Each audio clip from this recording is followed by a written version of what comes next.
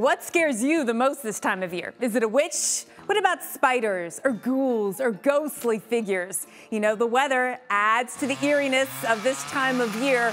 Fog has a way of just completing a scary Halloween setting. And you know, there's good reason this time of year. We go out to the graveyard, this spooky graveyard, lots of restless souls trying to get out. You know what else is trying to get out? The heat. And on a clear, calm night like this with very light winds, that heat, that radiation is just emanating up from the graveyard into space.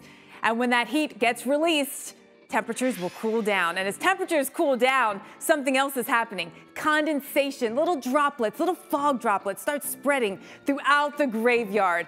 That jack-o'-lantern, I've got my eye on it. It does not look like any ordinary jack-o'-lantern. Look at that. This scene with the fog. Yeah, this is getting pretty spooky. Ralph, watch out. He's coming for you. Where's my broom? This witch is out of here.